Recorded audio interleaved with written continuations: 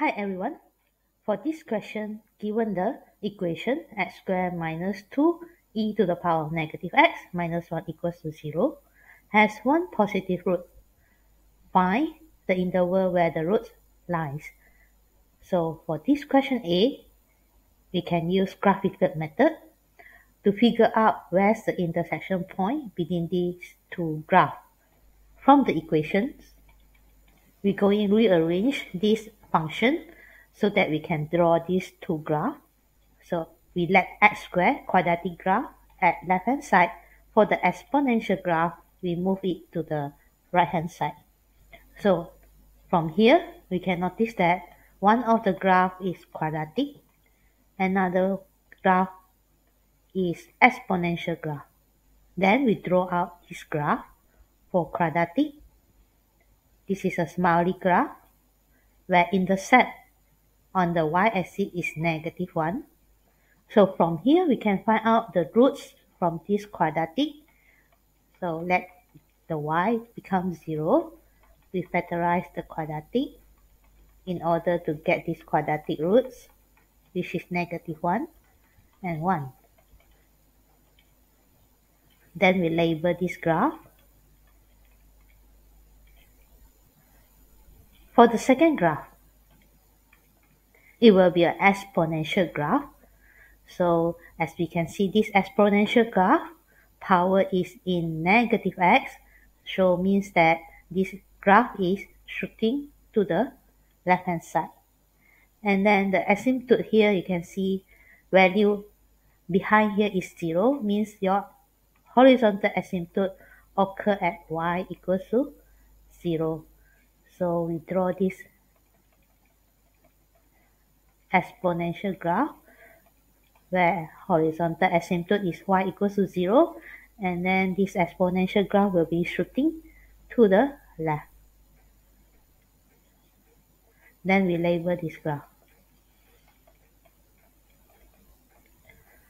So in order to observe this interval, we can see the coordinates here.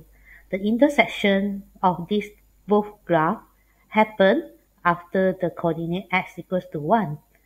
Then we can test another coordinate. Let's say we focus on coordinates x equals to 2. So when x equals to 2, the quadratic coordinates will go up until 3.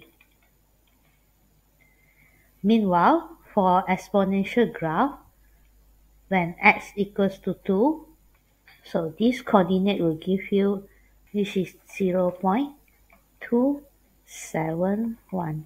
So from here, we can identify that at the coordinate of 2, the quadratic graph is going up, up to value of 3, and then the exponential graph is going down to reach the coordinate of 0.27. So from here, we can notice that the intersection of the graph it has happened.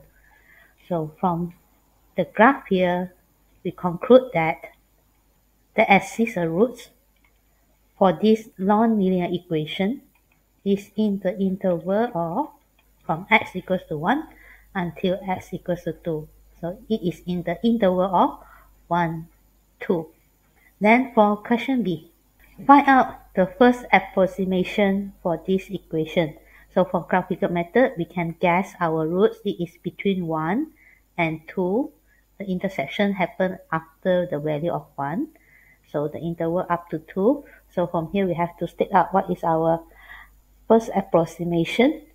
So based on this result, our first approximation x naught will be equals to 1.5. Then we're using Newton-Raphson method to find out what is the roots for these equations. So for question C, in order to use Newton-Raphson method, we need our function which is equals to 0. So our function here is x squared minus 2e negative x minus 1. Then we're going to differentiate this function.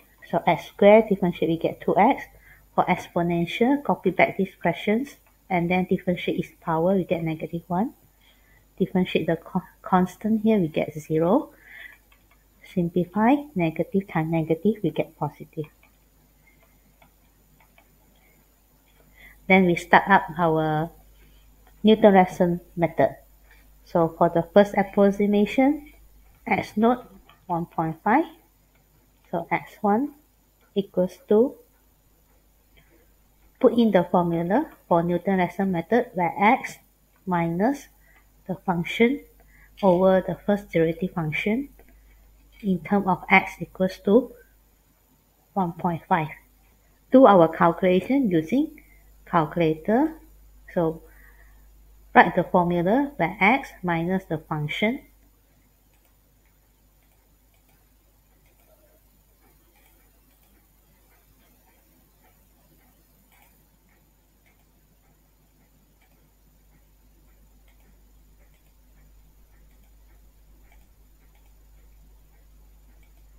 over first derivative function 2x plus 2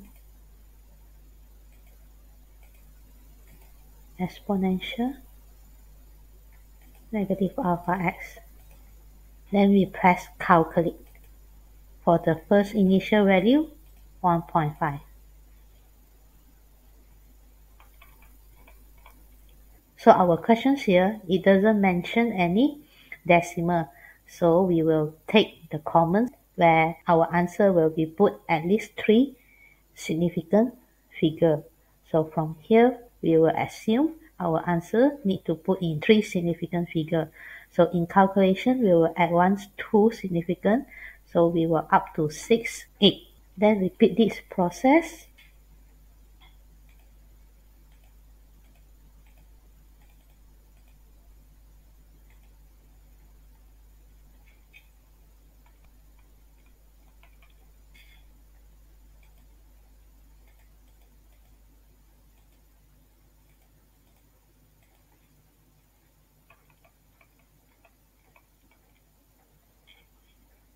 So one more time.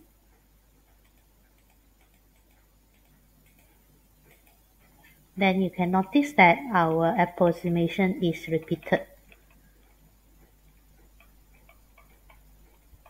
So from here, we can stop our calculation and then we answer the questions.